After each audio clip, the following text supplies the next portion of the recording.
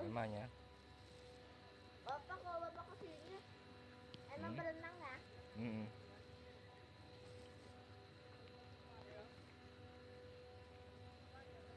Bapak kenapa sih kalau pantai itu kalau pantai itu